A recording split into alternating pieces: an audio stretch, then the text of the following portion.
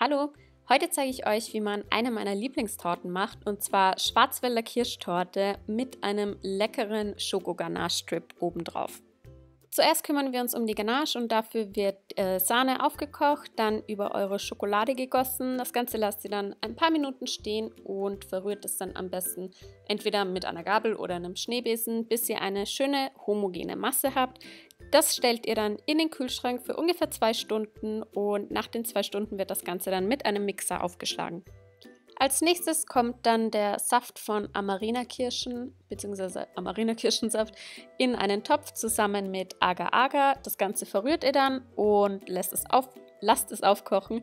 Und dann lasst ihr das für ungefähr so ein, zwei Minuten kochen und stellt das dann ebenfalls kühl. Während das auskühlt, könnt ihr schon mal den Topfen in eine Schüssel geben. Ich habe hier noch ein bisschen Zitronensaft dazu gegeben, weil Amarena-Kirschen sehr süß sind und damit das einfach diese Süße nicht zu sehr dominiert. Das Ganze schlagt ihr dann so leicht schaumig und dann kommt noch geschlagene Sahne dazu. Ich habe die nicht ganz steif geschlagen, also ihr seht das eh, es ist mehr so cremig geworden und das hebt ihr dann vorsichtig unter den Topfen unter. Seid dabei wirklich nicht zu wild, weil wir wollen ja nicht zu viel Luft rausschlagen. Und sobald der Amarinasaft dann leicht ausgekühlt ist, kann er auch schon zu unserer Mischung hinzukommen und wird ebenfalls untergehoben. Und sobald das dann gut miteinander vermengt ist, könnt ihr das dann nochmal in den Kühlschrank stellen für so ungefähr eine Stunde, damit das schön geliert und die Masse einfach ein bisschen fester wird.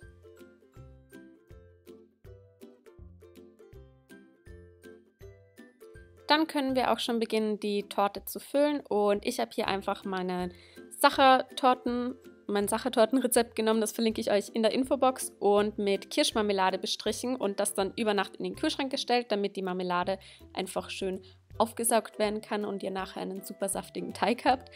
Und danach habe ich die Schokoladenganache in einen Spritzbeutel gegeben und quasi so einen Zaun herumgebildet. Und da drin habe ich dann die Amarena-Topfen Sahnecreme verteilt. Ähm, die ist nämlich leichter als die Schokoladenganache und wir wollen ja nicht, dass das Ganze dann am Ende auf der Seite rausquillt und deswegen habe ich eben diesen Ganache-Zaun gemacht. Dann habe ich ein paar Amarena-Kirschen verteilt, damit dieser Geschmack einfach nochmal rauskommt. Und im Prinzip wiederholte das, das Ganze dann einfach. Ich hatte insgesamt drei Böden, sprich zweimal eine Füllung. Und ja, hier seht ihr ja nochmal, wie ich das dann gemacht habe.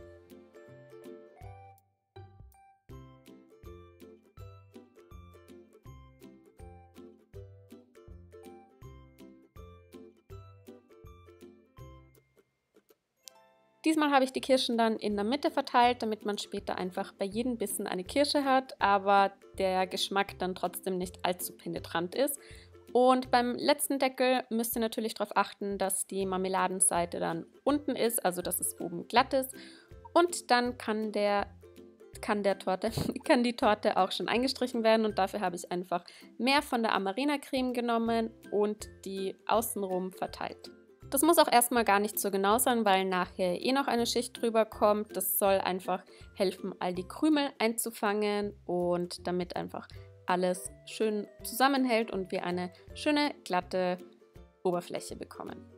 Sobald die erste Schicht drauf ist, stellt ihr das am besten für ungefähr eine halbe Stunde in den Kühlschrank und dann wiederholt ihr das Ganze einfach nochmal und wie ihr seht, wird das Ganze jetzt viel ordentlicher aussehen. Also ich habe das auch einfach zuerst mit einer Teigspachtel wieder so grob verteilt und dann mit so einem Teigschaber ich weiß nicht, wie man das genau nennt, aber jedenfalls quasi so eine Riesenspachtel ähm, bin ich so an der Seite entlang gefahren, damit einfach alles schön glatt ist. Und zwischendurch habe ich auch immer ein bisschen abgestrichen von der Creme, damit ihr einfach eben so eine glatte Oberfläche bekommt.